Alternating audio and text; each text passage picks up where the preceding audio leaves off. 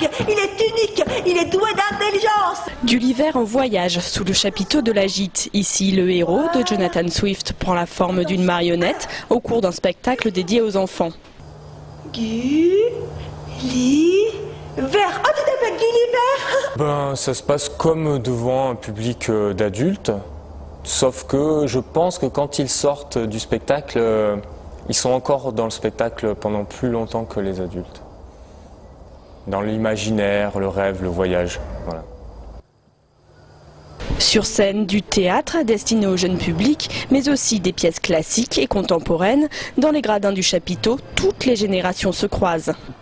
Le, côté itinérant de la gîte permet en fait de nous promener un petit peu à des endroits où le théâtre n'est pas obligatoirement présent dans la ville. Le théâtre sous chapiteau, c'est un petit peu euh, l'idée de, diminuer euh, l'espace d'intimidation entre le public et l'œuvre. Euh, des fois, on a un peu du mal à rentrer dans des grands théâtres et certains publics ont l'impression de ne pas y être à leur place et n'y vont pas. Et euh, par le chapiteau, en fait, euh, on trouve une autre forme qui est beaucoup moins intimidante probablement et qui peut faire venir euh, des gens qui n'auraient pas du tout l'habitude d'aller voir du théâtre. La gîte au vert se poursuit ce week-end et toute la semaine prochaine au cours de soirées complètes, au programme du théâtre bien sûr, accompagné de repas gastronomiques et de concerts.